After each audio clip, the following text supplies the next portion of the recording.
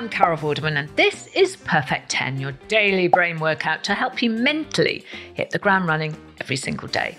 We've got puzzles and brain teasers to educate, to entertain, and to irritate the life out of you. So make sure you subscribe, you follow, and you like to get the next episode as soon as it drops. And if you spend a few minutes with us every single day, I guarantee you will feel smarter and sharper by the end of the week. Plus, you might learn a few interesting facts to impress your friends with at the weekend. Don't forget to head on over to at Perfect 10 Carol on social media for even more quizzy fun with exclusive content over there and bonus questions dropping every single day. So join me and the rest of the Perfect 10 family on Facebook, Instagram, and TikTok. You know what we say? There is always room for one more in the family. First things first, though, at the end of yesterday's show, I asked you which London landmark is an anagram of a much capable king? Well, believe it or not, a much capable king is an anagram of Buckingham Palace. well done if you got that one right. No points though for our anagrams. That was just a little bit of homework to keep your mind ticking over between podcasts. But now, let's get that mind moving and start today's Perfect 10. Let's go. Question one, your starter for a perfect 10. Which journey covers the longest distance as the crow flies? Is it London to New York or New York to Los Angeles? Two very long journeys, but which one is longer? Question two is the audio mystery we call hearsay. Which well known phrase or saying is hidden in these sounds? Oh, here we are on the allotment, but uh, I do wish I knew what that digging implement was called there. Uh, the one with the flat head and the uh, wooden handle. Wish I knew what that was called. Really do. So say, shout it out what you hear. Hearsay, and you can't go far wrong. Answers, as always, after the final question. Question three Carol lateral thinking. If today is Thursday, what day of the week will it be 19 days from now? Quick maths for Thursday. See how quickly you can get the answer. And if you're playing in the office or with the family at home, let me know who got the answer the fastest and the slowest, because that's quite funny. Time now to put your memory to the test. So open your ears, listen closely to all the details in this clip, because I will have a question for you at the end of it. Good morning, Doctor. Good morning. Who have we got coming in today? Well, we've got Mr. Andrews coming in with his gerbil at 10 a.m. for some dental work. Then Father Babbage will be in at 11:30 with Rosie. Apparently, the poor pup has an upset tummy. You'll need to pick Lizzie up from her school trip at 12:30, so lunch is clear. But you need to be back for 3 p.m. when Judy from the cafe down the road is bringing Nibbler, her rabbit, for a checkup. I said you'd take a look. He's been off his parsnips apparently, poor thing. We close at 4 pm today, so just enough time to go through those new registrations before we lock up. Six new cats this week. That's almost a record. Well, I hope you were listening because here comes your question four. What kind of animal is booked in at 3 pm? It's all in the clip, but can you remember the information you need? Questions five, six, and seven are all part of the same family the frivolous, the familiar, and the fun set of questions, testing your knowledge of the everyday. So, have you been paying attention? Well, let's find out, shall we? Here is your question five. In which cartoon series would you find characters called Fred, Velma, and Daphne? Moving on, question six. The logo for which app features a white telephone in a speech bubble on a green background? Question seven, and this one is about sport. Wolfie and Wendy are the furry mascots for which Premier League football team? Bit of a clue in the names, I think, Wolfie and Wendy. You'll need your word head on for this, as it's the round we call one in, one out. Question eight. Which letter can you change in the word claw, C L A W, to make a type of seafood? Okay, Ready for the next question? We call question nine, I know, I know this, as it's a question that can always be solved with a little touch of logic. Which is the only UK nation not to be represented in the Union flag? And here we are, question 10, the final question of the day, as always, our daily riddle. If Teresa's daughter is my daughter's mother, what am I to Teresa? Sounds simple, but apparently over 90% of people get this wrong on their first attempt. So come on, tenors, prove them wrong. And there you have it. Another perfect 10. Well done. If you need to rewind, now is the time to do so because the answers are coming up very shortly. But don't forget, in the meantime, to like and subscribe so you don't miss tomorrow's questions.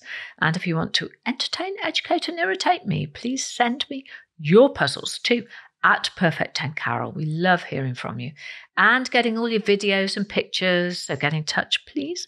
And we'll post all of our favourites on our socials. 10 questions, 10 points, all done in 10 minutes. But did you score a perfect 10 today?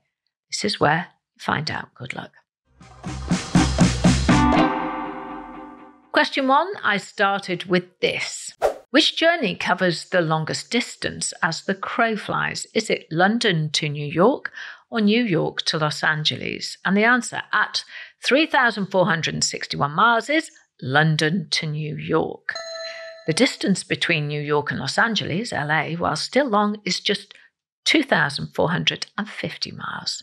Question two was hearsay. I asked you which well known phrase or saying was hidden in these sounds. Oh, here we are on the allotment, but uh, I do wish I knew what that digging implement was called there. Uh, the one with the flat head and the uh, wooden handle. Wish I knew what that was called.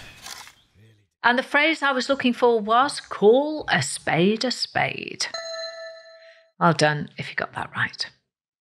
Question three Carol lateral thinking. If today is Thursday, what day of the week will it be 19 days from now? It will be a Tuesday. See you there with another round of perfect 10, by the way. Question four was our memory question, where we found ourselves at the vets and I asked you, what kind of animal is booked in at 3 pm? Oh, could you remember? The answer was the rabbit. The rabbit is the answer I'm after. And now we move into our three F's the familiar, the frivolous, and the fun. Question five In which cartoon series would you find characters called Fred, Velma, and Daphne? Well, along with Shaggy and Scooby, they are Mystery Incorporated, the ghost hunters from Scooby Doo. And have you ever wondered where the name Scooby Doo comes from? Well, in an interview, the series creator explained how he was on a red eye flight to LA, and I'm quoting, as we were landing, Frank Sinatra's Strangers in the Night came on the PA, and I hear him say, Scooby Dooby Doo. And I said, That's it, we'll call it Scooby Doo. I like that story.